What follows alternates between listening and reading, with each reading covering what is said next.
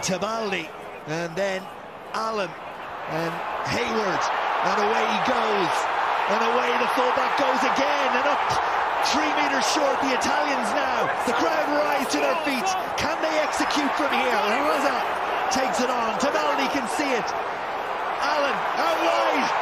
Padovani! Terrific from Italy. And the Stadio Olimpico is on its feet.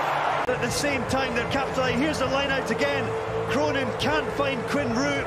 That looks like an overthrow to me, but the way that Italy capitalised off the back of it, look at this footwork from Hayward, steps off his left, gets past Carney, keeps on going. Earls did well to get him down in the end, but look at this pass, carry from Ruzza here, quick ball again, out the back to Allan, sweeping pass over the top, and Padovani benefits in the corner.